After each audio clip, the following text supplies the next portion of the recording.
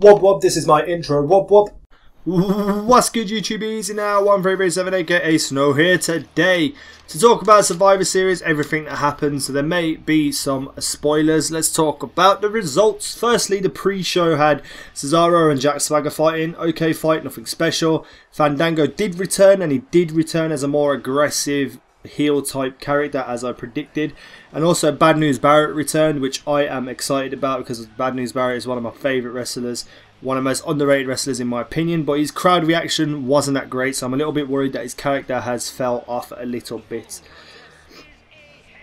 So Survivor Series starts with Vince introing and talking about it's a Survivor Series you will never forget. And as soon as he said that, I knew Sting was returning well not returning, appearing, I should say.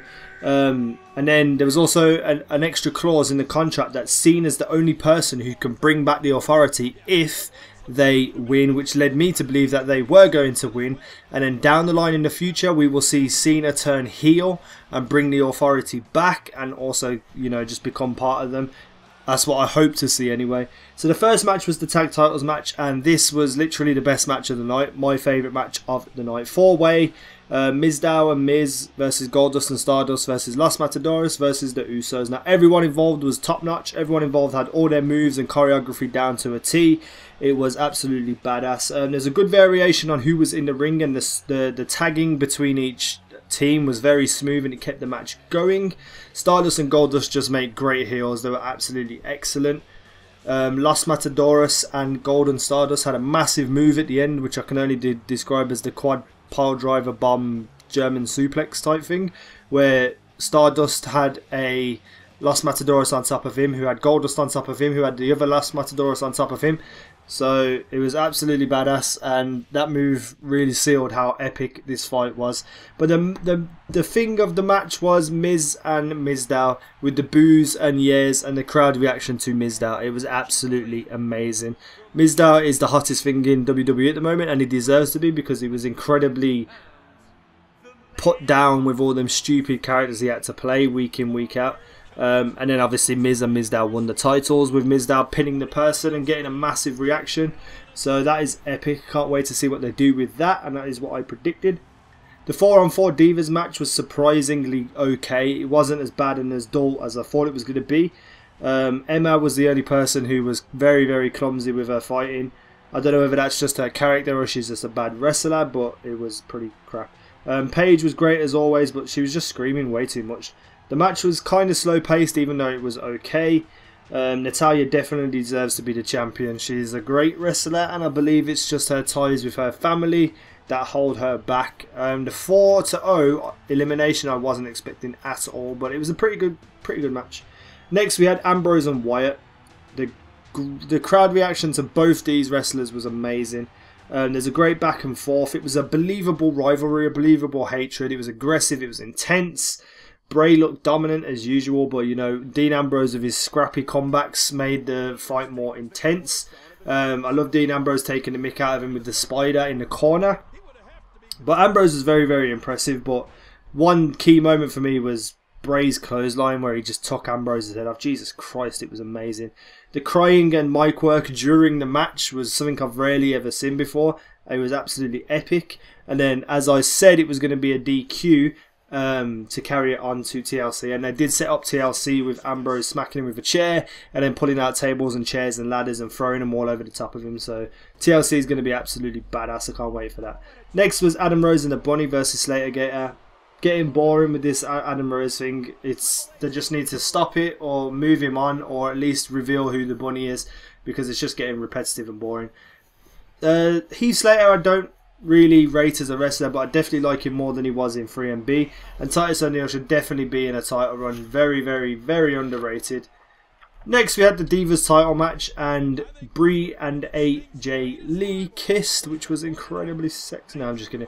Um, so, I've heard rumours that AJ Lee was going to be leaving after Survivor Series. And if that's true, if she is leaving, this last match was a massive slap in the face to her because she is by far one of the greatest divas to ever step foot in the ring.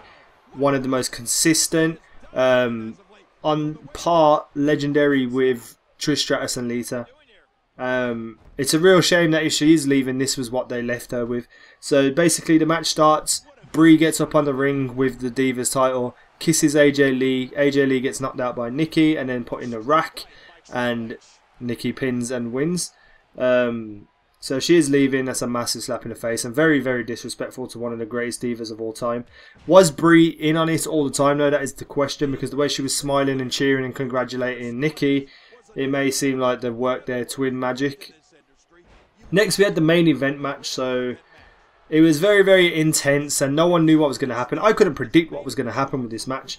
And I further couldn't predict that straight away when the match started, Mark Henry was knocked out by Big Show and pinned. I couldn't believe it. It was a risky opening that WWE paid off, but it added to the intensity of the match and it paid off. The crowd reaction was amazing.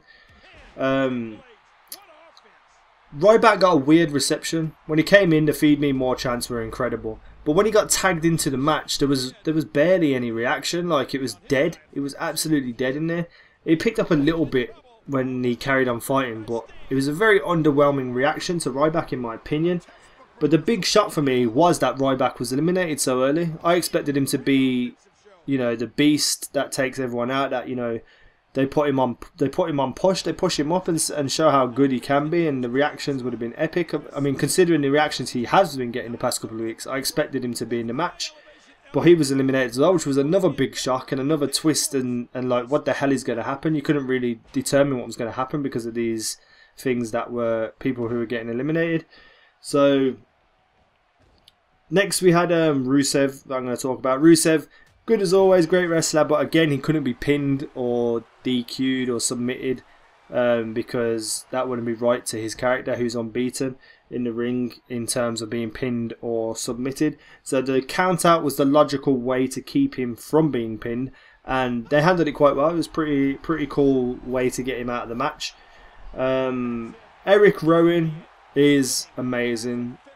So so looking forward to what they do with him in the future.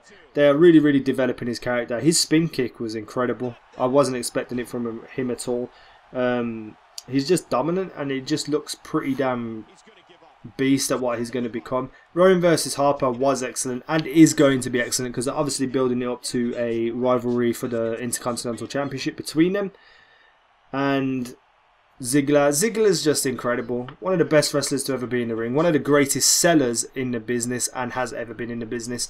And he done well again in this to prove that. that like minute in, minute out during the whole match, he was on top. He was impeccable, and he definitely deserves to be pushed in the way he's being pushed now because he actually won the match for Team Cena when it was him versus three people. Now there was a little bit of help there, and we'll get into that in a second. But firstly, the Big Show turn on Cena was a was a big what the fuck moment. I never expected it. If anyone was to turn heel and turn against him, I was expecting it to be Ziggler because that would have been the most on. You know, you wouldn't think of it for Ziggler to turn.